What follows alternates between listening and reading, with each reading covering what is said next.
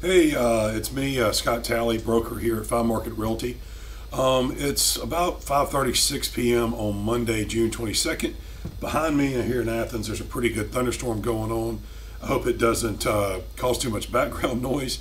And as you can probably see, I've got a nice little uh, sunglass raccoon uh, face tan going here from uh, getting out of town a little bit with the family and getting some sunshine. Hopefully, many of you are getting that same opportunity. So we've been doing some updates since, uh, well, we've really always done them, but the video update's been a little different.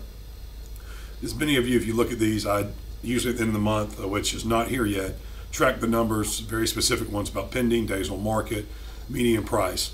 What I wanted to do today, because it's been about three weeks since we've done anything, is look at something a little different because we're seeing a very active market in a lot of ways, which I know people might find surprising. So what I wanted to look at was just June, and that's from June 1st to the 22nd, as of 5:46 p.m. And then um, compare that with 2020, this time frame in June to 2019.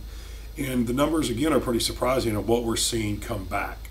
Now uh, today I did a little worse scribble job on this board. Hopefully it's legible and you can read it, but I'm going to try to go through it and point out the things that I thought I wanted to look at. Number one, new listings uh, what came to market in this month versus last year, same time frame. Considering that we're sort of coming out of the shelter in place, obviously there's still plenty of concern uh, for people and for us to be worried about and manage, but we are coming through some of the restrictions. So let's take a look at the new listing and the pending. So in June, the first 22 days in Clarke and Oconee County, 175 new listings. 196 so far in 2020. So that's up roughly about, you know, 19 units. And then the big number here, which has really been coming back, if you recall in May, we looked at the numbers in May and we had 174 units going under contract in May of 2020 and 174 in May of 2019, which showed a huge surge back of activity. Well, let's look at what happened in June. First two 20 days, 22 days of June, 99 properties go pending. First 22, June 2020, 153 units. That's a tremendous, look at these numbers. So 2020, the listings are up 19, the pending homes are up 54 units. That's an increase of 35%. 35% when you compare it to last year. But here's the thing to also note. This is great that we're putting these properties under contract. We're not going to keep up with it. We don't have enough inventory. And I know that a lot of people are experiencing a lot of changes and a lot of fear.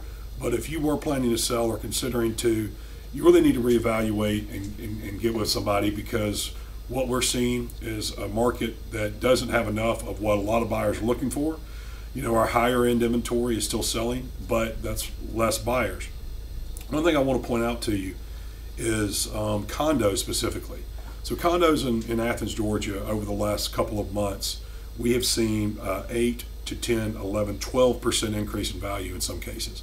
Take a place like the Highlands at Woodlake, might have been selling for 139, 140, now selling for 160. Take a place like, um, let's see what we know. I just sold one at Dearing Street that went from a 230 value to 267. And it went there because uh, it was an upgraded unit, but it was also scarcity. What's happened in our market is we've had a lot of people that were not able to find what they were looking for. They're still trying to find it. And now that some of it's coming to market, we're having a competition. Seeing condos go up and student properties pretty quickly.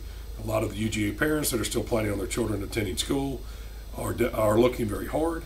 At the same point, we've seen some great residential properties take a big leap. So, um, you know, selling in this climate is doable. We want you to know that.